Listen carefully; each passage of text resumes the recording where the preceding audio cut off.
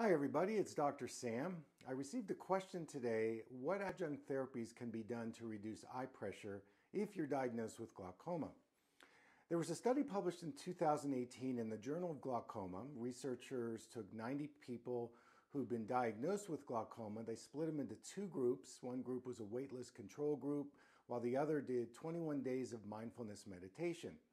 They monitored their blood serum levels, things like cortisol and BDNF. They also measured their eye pressures. And the results clearly showed that those that did the mindfulness meditation had lower stress markers in their blood serum levels and they reduced their eye pressure by about six millimeters in each eye. So they concluded that mindfulness meditation may be a great uh, adjunct therapy to help people reduce their eye pressure. So that's my message for today. Thank you so much for tuning in. And until next time, take good care.